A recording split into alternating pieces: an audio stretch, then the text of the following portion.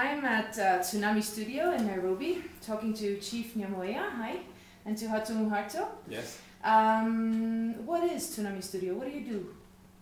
The Tsunami Studio was our idea for escaping our bedroom studios. It was our way of getting creative people in the visual effects, animation, comics space who are underrepresented in all the hubs burgeoning in Nairobi from their individual spaces and get us together to work Mhm. and in a directed way on common projects. Mhm. So we still have our own clients, we still have our own things going on our own houses. Like for example, I'm Kenya Noir.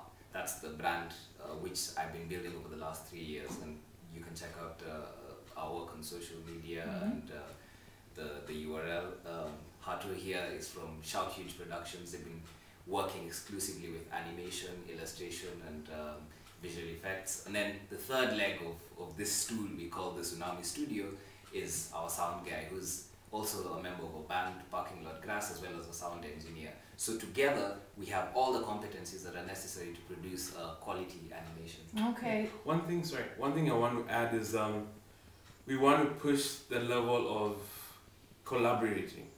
As uh, it's there's so much more you can do as if you collaborate as a team than you can do it as being an individual. Mm-hmm. So that's the aspect you're trying to bring in here. Mm-hmm. Yeah.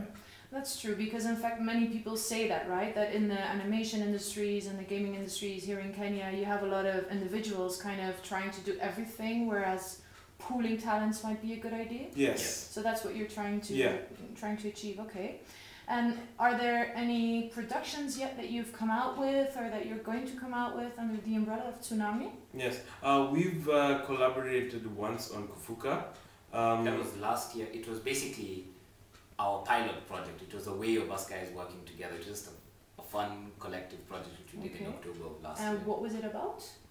uh, let Chief talk about that. It was an event. We we did a concert and we had screens in the background displaying our animations and uh, the music was themed to, to to the animations that were going on in the background and we also had dancers. It was just a fun party, uh, a way of exhibiting differently. Mm-hmm. Uh, other than just having oh this is our animation whatever we decided to let people get involved in, in, in the whole partying atmosphere Uh-huh. and consume our art in the process Okay, a different cool. exhibition style Okay, right. And and what are you working on now, or is there anything that you're about to launch now? Yes, uh, we're going to be launching uh, Kevo, which is a motion comic. Uh, we'll be launching it at an expo. That's uh, we're going to talk about that towards by the the end. Film Commission Yeah. Uh, the it's Kevo. Yeah, sorry. It's about Kevo. Uh, this is um, a Lone Ranger kind of type of guy, and uh, the genre is action sci-fi. Yeah, and he's going to go about beating bad guys, and uh, we have a lot of talent in it because I'm going to handle the. How do I put it? I'm going to handle the direction. I'm the director, the graphic director, and then we have the scriptwriter, which is going to be chief, and we pull in our talents to make this comic happen. And is this gonna be this is gonna be a series, right? Yes, it's going to be a series. Okay, so it's gonna be um, what are you gonna do? Distribute it online or Uh, we're going to distribute it online. Yeah. it's gonna be weekly?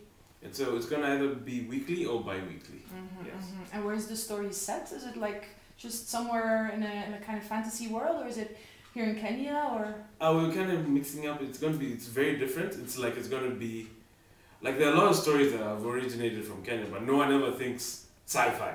Uh-huh. you know. So we're kind of like bringing the whole local aspect, but at the same time, it's in the future. Yeah. Yeah, so that's something that can appeal university potentially. Very very quickly. Okay, so um, but it hasn't been launched yet, and you mentioned that it's going to be launched um, in June at two events, right? Could you Yes. Talk a bit more. The first event will be the Kenya Film Commission's uh, Film and Broadcasting Expo, which will be on the 21st and the 22nd of June. Mm-hmm. And then the next, the very next week, we'll be launching it again at the iTech Expo, which Mhm. will be on the 26th and the 27th. Okay. So anybody looking to, to, to see what we are cooking in our kitchen should uh, look out for those okay, events. and both are in Nairobi, I assume. Both Yes. are in Nairobi. Okay, cool. Um, so and then after you launch that, it's going to be become available online. So any other people who cannot travel to Nairobi can follow you online, follow the the, the different Mm. episodes. Yes.